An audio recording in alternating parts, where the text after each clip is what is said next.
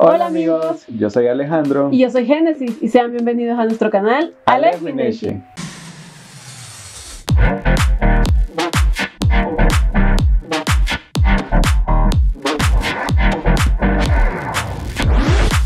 Bueno amigos, sean bienvenidos. Ah. No se atoró todo, todo. bueno amigos, sean bienvenidos una vez más a nuestra sección de noticias. No sé si te importa.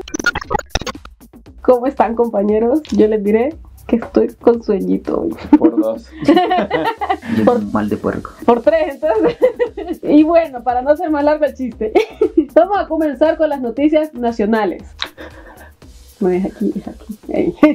Y pues comenzamos con el circo electoral, que hace unos días literalmente se pusieron a darse la madre un montón de políticos porque estaban peleando por quién iba a estar primero en las papeletas electorales, ¿verdad? Ujú. Se supone que esto es una rifa que se hace para, para eso, para ver quién va primero. Y eso es todo. O sea, el único beneficio es quién va primero. Saber el orden en el que van a estar en la papeleta de presidenciables. Ujú. Realmente ni siquiera me puse a ver el video. Yo solo vi imágenes de la gente ahí madreada. Y, y según estuvieron discutiendo, estuvimos discutiendo hace poco aquí en, en la casa, malos entendidos que creían que había sido fraude, que ya habían puesto el Partido Nacional primero, que los partidos pequeños querían ir primero esta vez, que porque siempre los mismos tres partidos enfrente, un solo relajo que terminaron dándose la madre todos. Y, y nos podemos pensar, ¿para qué sirve esto? ¿Qué beneficio le trae al país esto? Como para que sea tan importante y tan relevante que hasta los golpes se fueron a dar. Pues que la verdad al final no importa el orden en el que Exacto, vayan, porque yo. si vos vas a votar por Salvador, vas a buscar a Exacto. Salvador, si vas a buscar a Xiomara, vas a buscar a Xiomara, si vas a buscar a Papi, lo vas a buscar hasta el final.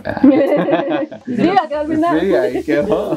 Digo yo que no tenía importancia, pues quién quedará primero o quién quedará último. Siempre va a estar, los simpatizantes siempre van a ir a buscar al que Exacto. Eh, al final se volvió a hacer esta, esta rifa y ya al final pues ya se dio. Yo digo, para empezar, ¿va? que no sirve para nada esto. Otra, bien que había un montón de gente ahí, o sea, el COVID no existe. ¿va? En la política el COVID deja de existir. Un montón de gente ahí, un montón de gente dándose la madre, un montón de gente Mentándose, la mentándose madre. la madre. Y pues al final ni supe qué orden quedó, quedó Partido Nacional al final. Creo que un partido pequeño quedó al principio. Quedaron, bueno, los que, los que le interesan a usted, Salvador y Xiomara al centro Ajá. y Partido Liberal y Nacional al final. va. Sí, juntos, así quedaron. De ahí hay alrededor de unas seis personas que nadie conoce, que nadie sabe quiénes son, Exacto. excepto Son su familia. 15 partidos, Son 15, 15. eh, presidentes que van a la candidatura. O Sí. sea, y estábamos sacando cuentas y son como 500 y la madre de diputados que dicen que esa papeleta mm, es kilometral, larguísima. Yo me pongo a pensar, Es un pergamino. es un pergamino. Ajá,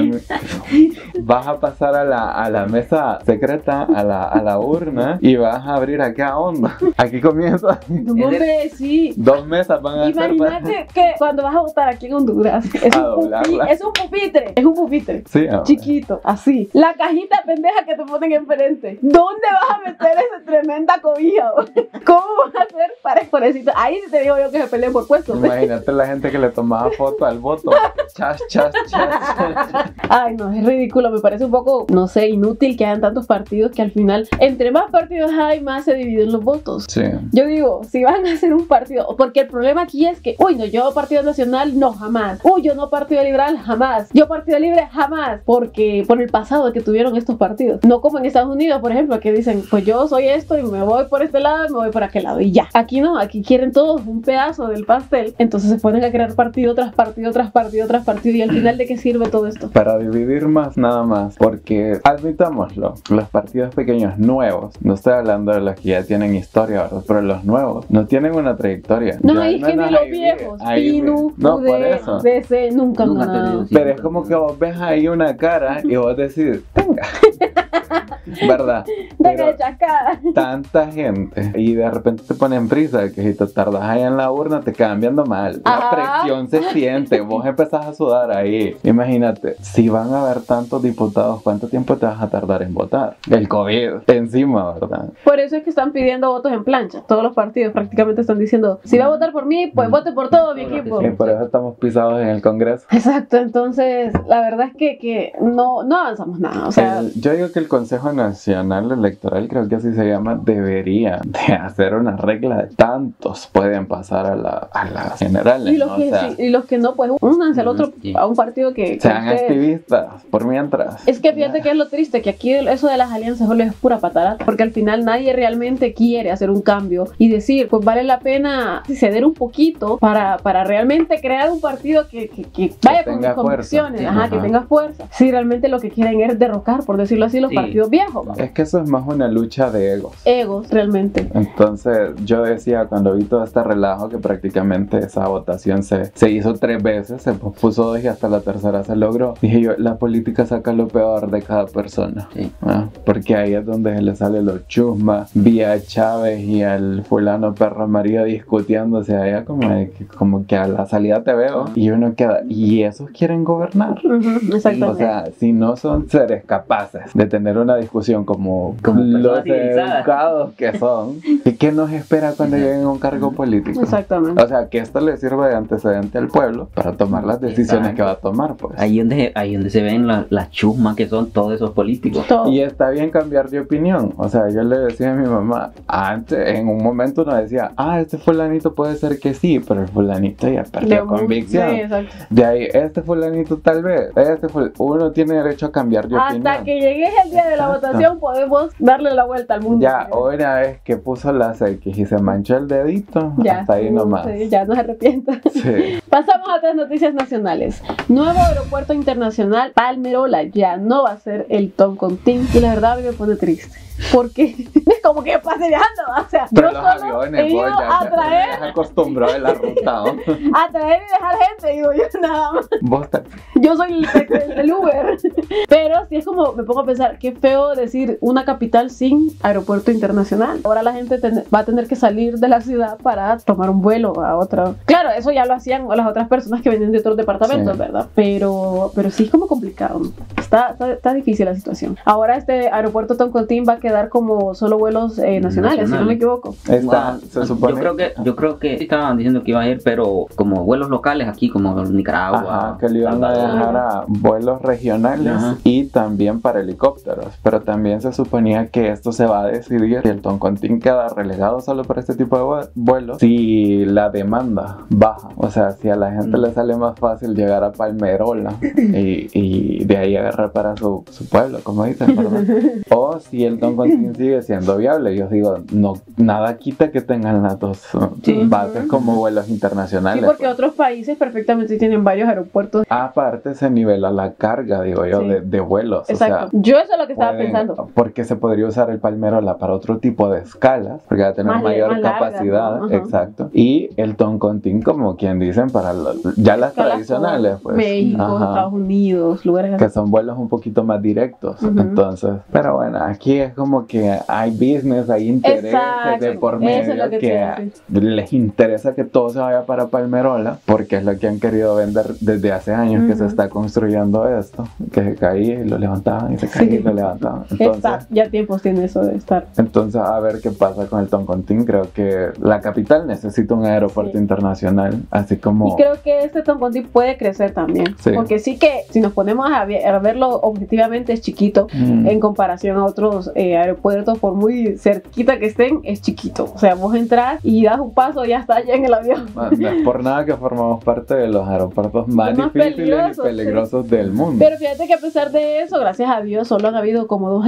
dos accidentes graves en la historia. Y no han sido en sí por la pista aérea, sino que han sido fallas, cuestiones Mm, Sí, ya. por el piloto que no Por el piloto. ha sabido aterrizar exactamente donde debe. Creo que podrían, si quisieran, ¿verdad? Invertir, podrían hacer crecer más este aeropuerto porque todavía tiene potencial para crecer. Pero como decís vos, hay intereses económicos ahí, entonces de poder y de, de- de adquisición. Si te pones a pensar, si ponemos ahí a atar cabitos, esto va del lado de las sedes, ¿verdad? Porque Ujú. todas estas zonas quedan en la zona norte. Entonces queda también a la zona norte. Esto le facilita en barbaridad a las futuras sedes que vienen. Porque aunque lo querramos o no, Honduras ya está vendido. A ver qué le espera el Toncontín. Esperemos no lo maten, porque aquí acostumbran Sí. a matar las cosas. Sí, las dejan, las abandonan y ahí Y quedan. Después las quieren recuperar y es demasiado se tarde. deterioran. Pasamos ahora a noticias internacionales. ¿Qué color crean? Eh, verdecito. Noticias internacionales. Hombre se vacuna cinco veces contra el COVID-19. Este hombre procedente de Brasil dijo, yo lo, dijo, yo quiero estar protegido 100%. A ver si no se mataba de tanta reacción. No, yo me puse a pensar, o sea, si nos ponemos a, a analizar, o sea, de por sí, por algo te dan una dosis primero, Ajá. otra dosis después, ¿no? El hombre parece que se puso dos dosis de una vacuna, ahorita no me acuerdo cuáles son, pero digamos, puso probar todas. Sí, se puso, por decirlo así, las dos dosis de la Pfizer. Después fue por las dos dosis de la Moderna. Después fue por una de AstraZeneca y cuando iba por la sexta lo cacharon. O sea que iba a poner las dos dosis de la otra también. No sé con qué intención realmente. No, no dicen con qué intención, pero yo supongo que lo que era de él. ¿verdad? Sí, lo que aprovechó, según leí, es que hubo un fallo en el sistema Sí. donde estaban registrando quiénes iban ya, así como aquí que te piden tus datos, ¿verdad? Entonces, Se supone, ajá, debería estar Ah. como en el sistema, ¿no? Decir, Ajá. no, pero usted ya joven ya se puso Exacto, y una. ya, ya ir a la tercera ya tenían que ver que en el sistema. No, pero usted ya las tiene las dos. Exacto. Dice que cambió de centro de salud, por decirlo así. Este man, ¿cómo está vivo? Sí. Dios, qué raro. Pero es inmune. Súper inmune. Usted no desconfía de él si se la encuentra. Ahora hay que agarrarlo para hacer un estudio científico. Mami. ¿Qué pasa cuando te ponen las siete dosis de... No, él es el experimento número uno del cruce de vacunas. Ajá, hombre. what the fuck. Y en dosis aumentada. Pues hasta la fecha nadie ha dicho que se ha muerto. Hasta hace- no les conviene. Ahora es inmortal. Aquí, aquí hay ver gente igual. Nah, para empezar, ¿quién se pone a hacer tanta pila? Aquí con lo que nos ha costado hacer pila para esas vacunas. y que te digan que no hay. No, pero lo basura de eso es que ese hombre le quitó su dosis a otra persona. Exacto. Sus dosis. Sí, está como súper extremo de que el hombre burló el sistema. Literalmente, como quien dice, me la pelan todas. ahora sí, pasamos ahora noticias de la farándula. Rápido. Aquí, friendo y comiendo. Nueva demanda de Scarlett Johansson. No sé. Ay, Qué, barbaridad. Perdón, perdón. Producción. Yo creo que es César, tiene que tener contra. Nueva demanda de Scarlett Johansson a Disney, esta vez por misoginia. Misoginia. ¿Y por qué? Porque, claro, obviamente es una demanda que las tiene de ganar por el incumplimiento de contrato que hubo cuando salió Black Widow. Y pues ahora, como que Disney está dando patadas de ahogado y no quiere, primero quiere como hacerlo a puertas cerradas, todo el juicio, que nadie se dé cuenta. Y empezaron a jugar sucio. Me parece sucio lo que hicieron de quererla mo- mostrar su, su sueldo para que dijeran, no, pues esta mujer ni necesita el piso, ¿para qué alega? Quisieron poner en contra a la opinión pública a lo que Scarlett estaba demandando. O sea, sabemos que un contrato es un contrato y se respeta como tal. Exacto. Y ellos lo incumplieron, solo que les cuesta aceptar la cagada. Y la pérdida de dinero que van a tener. Sí. Eh. Aunque en realidad es Disney, o sea, Para mí es poquito, O sea, 50 millones es poquito. una plataforma de streaming. ¿Cuánto le ganaron? O sea, sí le ganaron millones, pero es lo que hacen en un día en un parque. Exacto. Bueno, la sacaron del proyecto, ¿no? Luego se burlaron de ella, diciéndole que ya no era necesaria. Se- eh, tercero, mostraron el sueldo y quisieron burlarse de esta forma, diciendo que Scarlett no era como que estaba siendo consciente con lo de la pandemia, porque Ah, ellos lo sí. habían hecho el estreno simultáneo para que la gente no tuviera la necesidad de salir de sus casas. Tampoco es que todo el mundo va a morir por no ver una película de Marvel, ¿no? No, espérate, la ironía de la vida. Si realmente ellos se interesaran por la salud de las personas y dijeran, no, por favor, no salgan, no la hubieran puesto en el cine. No mames. Ay, que me parece una cosa súper chistosa y ridícula decir de que, ay, no, es que Scarlett de la mala aquí porque ella está obligando a la gente ir al cine. Ah, y ese es su ídolo, el mío no.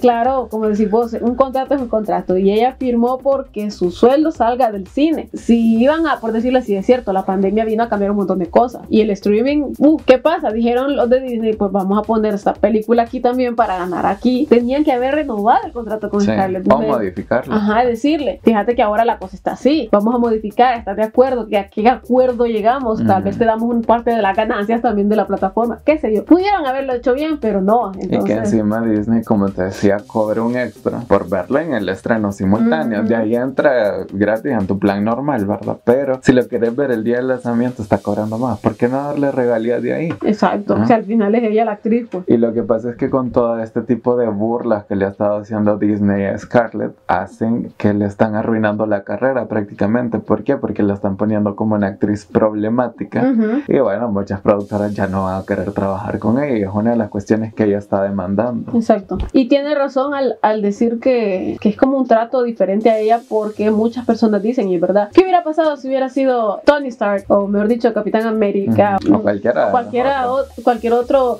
hombre? Si hubiera dicho lo mismo, ahí sí hubieran dicho, ay no, ¿cómo es posible? Paguen lo que tienen que pagarle al hombre, Dios mío. Entonces, como que ese que hay que ser equitativos. Contrato es contrato, punto. Ellos tenían que haber cumplido el contrato y ahora que respondan. Sí. Mejor que no sigan haciendo más largo el cuento porque peor va a ser. Y bueno, los abogados de ella dijeron que aunque Disney quiere que todo esto se haga tras bambalinas, que nadie se dé cuenta, pues no, que todo se va a encarar de forma pública, porque así el público se va a dar cuenta qué es lo que está sucediendo, pues Pues- la verdad de las cosas, porque lo que pretenden es mal paradilla. Ujú. Y bueno, pasamos a otras noticias de la farándula. Belinda y Nodal, ¿terminaron o no? Porque resulta que hace poquito saltó a- al ojo público el hecho de que parece que Nodal borró fotos. O, sí, Todas las borró fotos. las fotos de... Y la dejó de seguir. Sí, la dejó de seguir en Instagram. y que después Belinda lo dejó de seguir y Pero de repente sale Belinda en una entrevista diciendo que no, que más bien ya van a sacar una canción juntas dentro de poco, que les va a encantar y de ella no menciona nada sobre No fregues, que rayarse aquí, ¿no?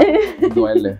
Yo vi un meme de Ariel Man con el pecho negro. Yo escuché rumores, no sé qué tan cierto sea, de que es que parece que Nodal hace eso cada vez que va a sacar música nueva. No sé, o sea, será como para llamar la atención, marketing, por decirlo así, publicidad, de que la gente voltee a ver hacia sus perfiles y todo eso. Y pues la gente lo primero que dijo fue terminó con Belinda. Yo creí que sí, ah, ya, ya, ya sabía cuándo iba a durar esto. Ahora Y yo me preguntaría, ¿Belinda es su novia o su estrategia de mercadeo? las dos cosas puede ser.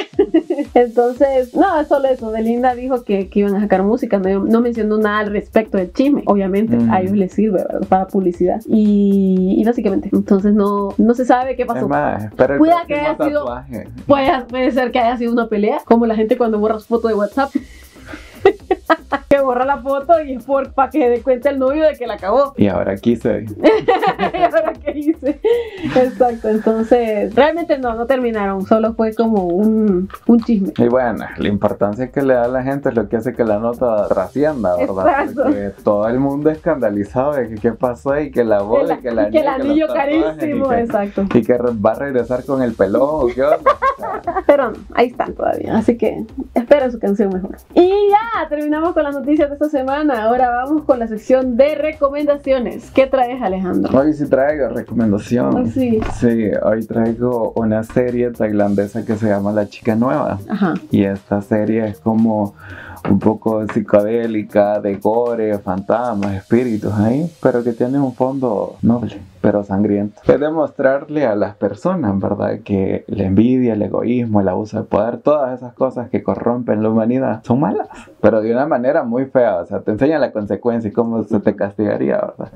Y se trata de un estudiante que visita diferentes escuelas, ¿verdad? Y a cada escuela que va decide o elige una víctima a la cual le va a dar la lección de su vida. Entonces, como te digo, te muestra diferentes casos de envidia, de corrupción, de violaciones. Y lo que me llamó más la atención es que muchos de los capítulos de esta serie están basados en noticias reales que trascendieron en, en Tailandia, donde maestros abusaban de alumnos, donde una maestra hizo un tiroteo y mató a todos los maestros, en otra que unos estudiantes mataron a otra alumna. Entonces, la perspectiva siempre es la chica nueva, a la que le pasa todo lo malo a la chica nueva y la misma chica nueva es la que le da el escarmentadito. Entonces, es muy buena, son dos temporadas, puede haber una tercera, aunque acaba salir la segunda. Lo bueno de esta película es que no tiene historia conectada, cada capítulo es una historia nueva. Entonces, si la dejó de ver, si no le entendió a uno, el siguiente sí lo va a entender. Entonces, es muy bueno. Y si Te no, ayuda- pues regresa a la anterior y lo Ajá. ve. es muy buena, te ayuda a reflexionar por si andas por el camino del mal, que te puede pasar así. Bueno, yo esta vez traigo una serie también de Netflix que se llama And with an E. Ya es una serie de hace unos años. Tiene tres temporadas. Lastimosamente no se renovó a una cuarta temporada por cuestiones, creo, eh, tengo entendido, de, de- de rivalidades entre empresas. Misoginia. Ah, Pero las, las tres temporadas, la verdad es que te dejan con. A pesar de que quedan algunas cosas inconclusas, porque creo que fue una, un término abrupto, así como que no se esperaba que se cancelara la serie, pero te deja contento con el final realmente. Es una serie que trata de una niña que es huérfana y es adoptada por error por unos hermanos, o sea, son hermanos que, que nunca tuvieron una, ni hijos, ni pareja, ni nada. Entonces, pues vivían juntos y lo que buscaban era un niño que les ayudara en la granja. Mm. Esta es una serie ambientada en los tiempos de 1800 un empleado sin paga. algo así, sí. Lo que querían era un varón. Mm. Y por error les enviaron a la niña. La quisieron devolver, pero realmente la niña tenía su encanto natural de que enamoró, por decirlo así, al, al señor y dijo, pues no le iba a dejar botada la traje igual, que es una niña que sufrió bastante bullying, bastantes maltratos en, la, en el orfanato, donde las te- la, la habían adoptado anteriormente como igual, casi que trabajadora. Sufrió muchas cosas de en su niñez, pero al mismo tiempo ella solita, con su imaginación, su porque era muy inteligente, le gustaba leer mucho, se salía de esa realidad horrible y creaba su propia realidad de cuento de hadas, de historias y todo eso. Mm. Entonces, poco a poco se fue ganando la confianza, el amor, la aceptación de tanto los niños en la escuela como los adultos prejuiciosos, la gente que en esa época de por sí somos cuadrados todavía, ¿verdad? En esta sociedad y antes más. Entonces te deja un montón de mensajes de sororidad, de, de feminismo, pero del feminismo bueno, no de ese extremo, no al racismo, no a la homofobia. Hay un montón de, de mensajes bien bonitos que te dice como que, hey, esto está mal y no solo porque en aquel entonces se consideraba bueno, significa que fuera bueno. Es muy bonita, tren- tiene ese toque inocente porque son niños Ujú. que conforme van creciendo se van mostrando los cambios de la adolescencia, de la niñez y todo esto. Y al mismo tiempo eh, la sociedad, ¿verdad? Cómo es la sociedad, los prejuicios de la sociedad y cómo van cambiando. Es como la mía, pero sin sangre. Exacto. Es que ella sabe que vos siempre vas por ese camino. La sangre me llama. Entonces la verdad es que la súper recomiendo, muy bonita, muy bonita. Lastimosamente la, la cortaron, como que te quedas como, ay, ¿qué habrá pasado con los niños ya en la adolescencia, ya en la universidad? Andate a Wattpad. Ahí fijo, hay un. No, un de hecho es una, hay una, es una historia sacada de libros. Ah. Entonces probablemente si usted se va a buscar el libro va a encontrar la historia completa sin ningún problema. Ve por el libro. Sí, me dan ganas. Pero lo bonito es verlo ya personificado. No, no, no, el libro. Lee. sé cómo van. y bueno, esa es mi recomendación de la semana. Espero la vayan a ver porque está muy bonita la serie. Y ya. Y si le gusta la sangre, mira la mía. Y listo, finalizamos con el video de esta semana. Espero lo hayan disfrutado. Y recuerde que si le gustó, esperamos que nos deje su buen me gusta. Al igual si no se ha suscrito, le invitamos a que se suscriba y active la campanita de notificaciones para que YouTube le avise cada vez que subimos un nuevo video. Y ya, tiempo de terminamos este video. Espero lo hayan disfrutado y nos vemos hasta la próxima. Bye. Bye.